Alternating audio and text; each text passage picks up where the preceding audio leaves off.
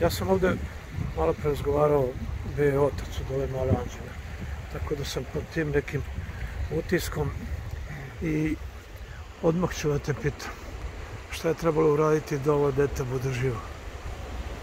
Pa, gledaj, nezahvalno je sad graditi ne, ne, neku priču na, na toj nesreći da, da detence nastrada. Trebalo je da voda ne bude tolika, jer mi imamo jednu, jednu produženu situaciju visokih voda.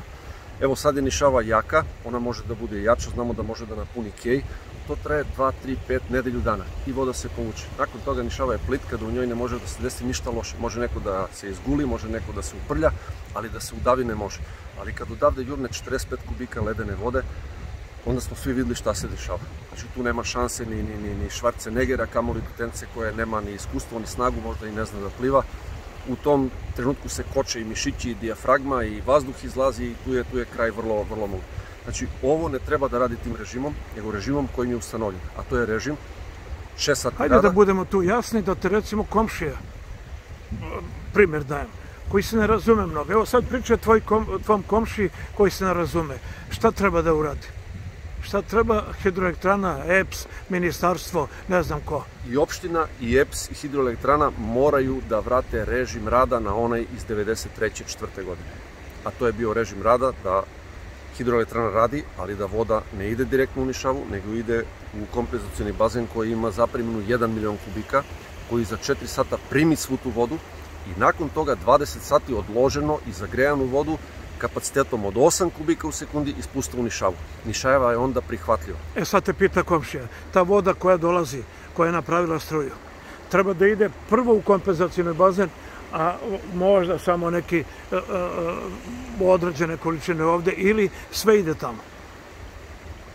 Šta kaže 93. 93. kaže da je deo mali vode išao ovde, ali je veliki deo išao e, tamo. Zato sam znači nije, nije bilo potpuno to, ali to nije bila voda od 45 kubika kao, kao kad radi puno pano hidroelektrana, kao što ona radi veći deo godine. To je problem. Na sajtu EPS-a stoji, malo sam proučavao i hidrometeorološke podatke, ali i njihove podatke u EPS-u, stoji na sajtu da hidroelektrana radi 1400 sati godišnje ili 58 dana.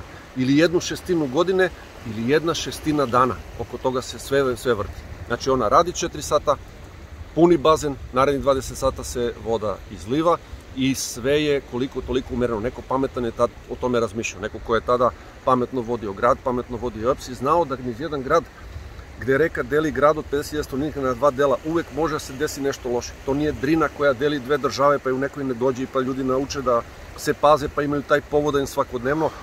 Ovde je prvenstveno hidroelektrana napravljena zbog vodosnabdevanja, zbog sprečavanja poplavnih talasa koji jure visočicom i zbog pravljenja struje, ali po jednom određenom režimu.